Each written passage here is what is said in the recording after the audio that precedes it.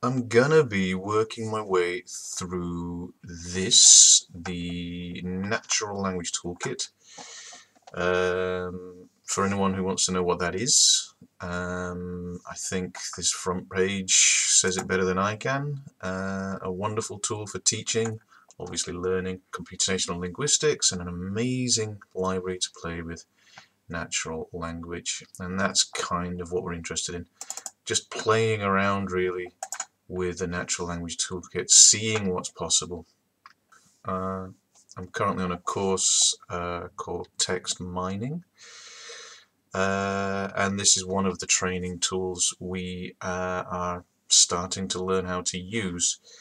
Uh, it's been said to be a little bit outdated, it's quite old.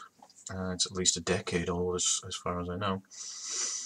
Um, but because it's old, it's uh, well documented, uh, pretty robust. I mean, many, many people have, have tinkered around on here and you know if there's any bugs or issues then that's been fed back and fixed so it's you know it's pretty um, rock solid uh, and it can do an awful lot of things a lot of different modules have been developed for it um, so NLTK to my understanding is like a library of modules all focused on natural language processing the intention of this video, and, and, hopefully another couple more, will be just to kind of uh, get to grips with Python, uh, start to use Python to, to analyze texts, um, and get to grips with NLTK. The plan is simple. Uh, there is a book uh, uh, natural language processing with Python and I'm just going to work my way through the book. Uh, in the book there are exercises so I'm just going to follow the book do the exercises if there's anything interesting worth remembering or mentioning I'll do my best to do that and uh, hopefully we can just learn something about Python in general and uh, the NLTK toolkit and natural language processing of course. Quick disclaimer, I am a complete novice to Python as well as uh, NLP, so uh, this is more like a, a, learn along than, you know, I'm an expert trying to teach anything. So don't expect any kind of expert level of analysis. Uh, I'm really just documenting my own progress. Uh, and then whacking it online in case anybody else um, perhaps can benefit from it. Um, so set your expectations very low, um, uh, and let's uh, let's get into it. Um, I'm going to skip over the preface, except to say thank you to these guys who uh, have made this available. And I mean it's free as far as I can tell.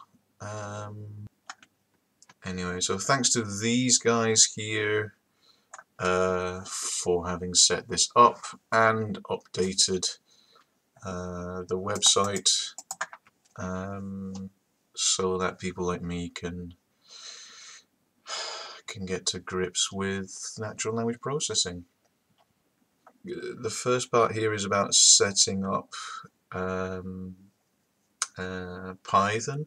I'm gonna I'm gonna skip over setup because I've done it already, uh, and I'd recommend actually doing this in Linux. Uh, but this is my main computer, which is powerful enough to edit videos, uh, but it's more of a family computer, so I'm not gonna dual boot I noticed when I did it on my laptop is a little bit I think since Windows 10 um, I think the the BIOS is being replaced now with something called uh, EFI or UEFI and it doesn't um, play very nice with dual boot and I don't want my family to just have to deal with the quirks of, of, of dual booting. Um, so I have dual boot on my on my laptop, uh, but here it's Windows all the way. Anyone who wants more advice about setup, uh, I would suggest going to this guy's channel, he has um, a playlist on NLTK. And in the very first tutorial, it's it's a little bit longer than the rest.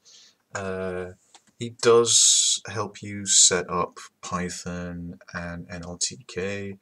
Um, although he does use um, idle um, which is the IDE, kind of the default IDE. This is where you type in your Python code. Uh, you can also do this in a, a, command prompt, I think, if you just type in Python and then you can uh, uh, start working with Python code. I am not going to use either of these two. I'm going to use Jupyter. When I began about a week or so ago, um, we were recommended to download Anaconda. Um, what's it called? The Anaconda Navigator. Uh, and that it's got uh, like its own IDE. I think it's called Spyder. Let's have a look. Um, and uh, but we're recommended to work with notebooks, uh, the Jupyter notebook um, predominantly. So um, uh, Jupyter notebook, yeah. So Spyder, this is the uh, IDE that comes with Anaconda, um, but this is what I'm going to be using. And just a note, uh, when you use command prompt you get these arrows. Uh, when you use IDE you get these arrows. But if you use um,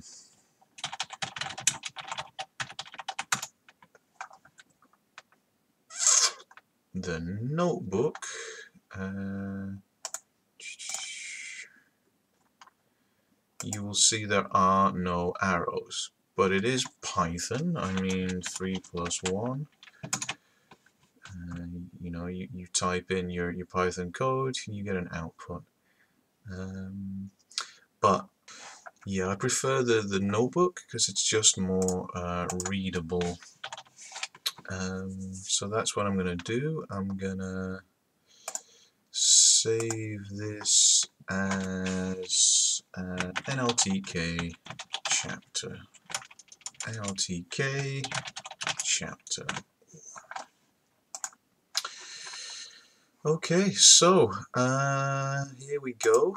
I guess we're off to the races. Uh, this first part here, uh, it's just, yeah, very basic Python commands. 1 plus 5 times 2 minus 3.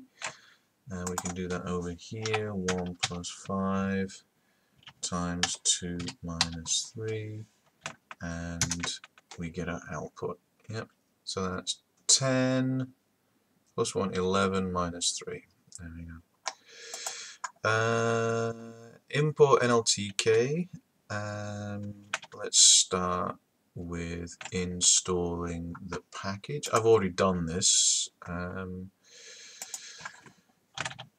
uh, so, but always good to start off um, uh, I've done download so I've got all of this already and we can prove that by just running this command so from nltk.book